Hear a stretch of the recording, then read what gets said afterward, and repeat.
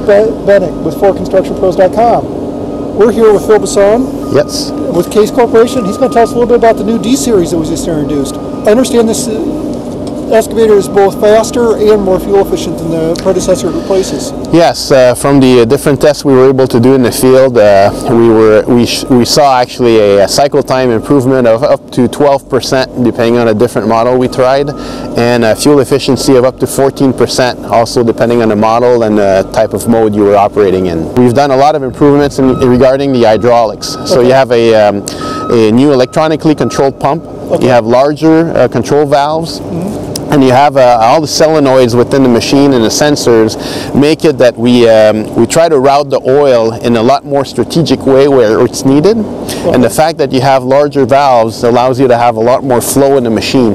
So one you don't overheat so you have a much uh, better use of the oil at that point. And also we are reusing the oil as much as we can before it goes to the tank to the function so that if you're going, for example, on a, a boom down function and dig, um, the oil doesn't go back and goes to the, uh, the, the bucket it goes straight from the boom down to the bucket. So you have a much quicker response when you do that. We're also seeing the same type of application if we're doing a dig and then load.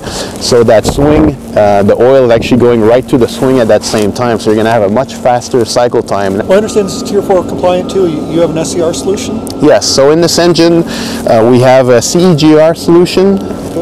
Integrated with the SCR and the DOC as well okay. to all meet the Tier 4 final uh, emissions requirements. No diesel particulate filter? No diesel particulate filter. So the nice thing with that is you don't have that filter to replace, which is quite expensive. You don't have regenerations related to that and therefore no downtime. And what we've seen is up to 9,500 more truckloads a day if you're operating, for example, 10 hours a day, 6 days a week, 49 weeks uh, in a year. You're looking at all the different uh, improvements in the truck truckloads, and that's how we were able to come with that measurement of uh, 9,500 more trucks, up to 9,500 more trucks a year.